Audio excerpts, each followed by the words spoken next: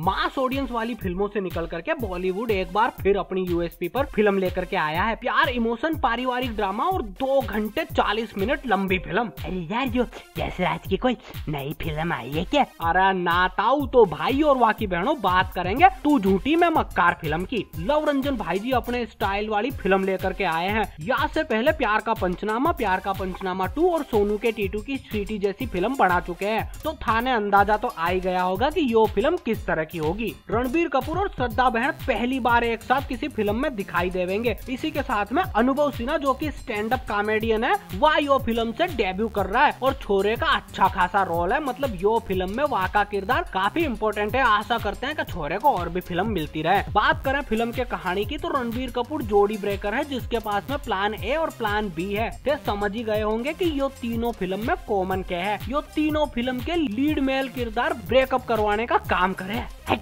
man, just लोग के के धंधा करने लगे हैं यार। पर रणबीर भाई साहब जो कि लोगों का ब्रेकअप करवावे है, वह खुद श्रद्धा से प्यार करने लागे और लव रंजन की पिछली फ़िल्मों को याद करे और ट्रेलर देखे तो यो ही लागेगा कि यो एक मॉडर्न लव स्टोरी है। पर ना ना ना, यो सोचने की भूल कतई मत करना। फ़िल्म में था लोगों को गजब का इमोशनल फैमिली ड्रामा देखने को मिलेगा, वो भी गजब के कॉमेडी के तड़के के साथ में। श्रद्धा कपूर ने यो फ़िल्म में जितनी बार बीकनी पहनी है ना, उतनी बार तो हमारे हिसाब से वह अपनी पूरी ज़िंदगी में ना पहनी होगी।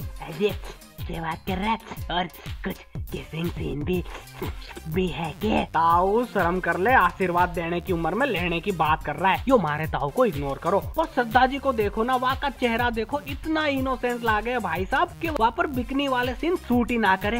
हाँ हाँ सही बात है। वहाँ पर तो सूट ही सूट करे। है लव रंजन की पिछली फ़िल्मों से एक आध कैमियो भी है। यो फ़िल्म में जो भी चार से पाँच मिनट का है, जो देख करके मज़ा आ जाएगा भाई साहब। एक्टिंग की बात करें तो कुछ खास था ना रणबीर कपूर और श्रद्धा बहन के लिए यो फ़िल्म में। पर मन्ने रणबीर भाई, यो तरह के रोल में ज़्यादा चौका लागे है कंपेयर करे वाके सीरियस रोल से तो। बाकी बोनी कपूर, अंकल जी ने भी गजब की एक्टिंग कर ली है। अर्जुन बेटा, कुछ सीखो यार पापा से। फ़िल्म की अवधि लंबी है और फ़र्स्ट हाफ़ स्लो है, जिसकी वजह से थोड़ा बोरिंग भी लागे। पर भाई साहब सेकेंड हाफ़ में कॉमेडी पारिवारिक ड्रामा कैमियो और फ़िल्म की कहानी एक अलग ही मोड ले ले हुए है। फ़िल्म के गानों की बात करें तो बहुत ही बढ़िया है अब अरिजीत भाई साहब की आवाज़ में तो जादू है ही। पर या के उपरांत गानों की जो प्लेसमेंट है ना फ़िल्म में, वह गजब की की है, सही सिचुएशन पर सही गाना बिठाया है। बाकी कुछ ना हो करने को तो यो फ़िल्म देखने जा सके। बाकी एक आध किसिंग सीन है जो वह चाल जावे तो फिर परिवार के साथ देखने जा सकते हो। बाकी दोस्त यारों के साथ तो देखने का मज़ा ही अलग हो